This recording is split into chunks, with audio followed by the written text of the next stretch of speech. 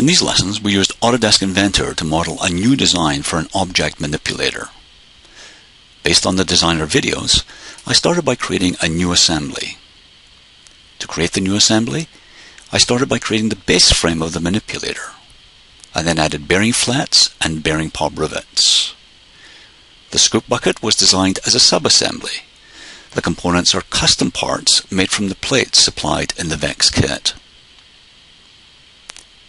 The sub-assembly was placed in the main robot assembly and attached to the base frame using lock bars. A motor was added and the manipulator was attached to the arm. One design concern was the extra weight added to the front of the robot. Using the center of gravity tool, I determined that the initial design was not acceptable. To resolve the problem, a counterweight was created and added to the robot to prevent the robot from toppling over. Now that you have seen one example of how to model an object manipulator, it is your turn to create your own design in Autodesk Inventor.